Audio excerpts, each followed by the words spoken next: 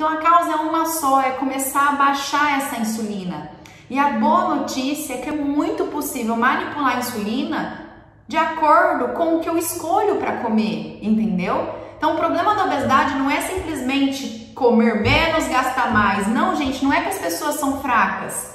É que esse conceito não funciona. E tá na hora da gente olhar realmente os estudos, os ensaios clínicos randomizados, os experimentos Fala, cara, na natureza faz muito sentido no ponto de vista evolutivo, né? Pensando no evolucionismo. Não tinha grãos o tempo todo, na verdade, grãos eram raros de ser encontrado, frutas se proliferam em épocas. Tá certo que no verão os dias são mais extensos e a gente comeria mais fruta, mas no inverno o dia é mais curto e a gente nem acharia fruta. No verão a gente acumula uma gordurinha para conseguir sobreviver no inverno.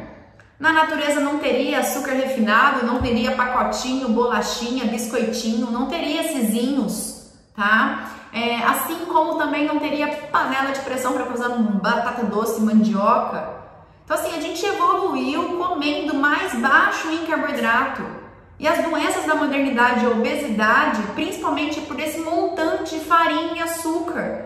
Eu não quero fazer terrorismo nutricional com você, esse não é o meu intuito. Mas você tem o melhor do conhecimento para começar a manipular melhor o que você está colocando para dentro do seu corpo. E na exceção, você vai se guardar para aquilo que realmente vale a pena para você.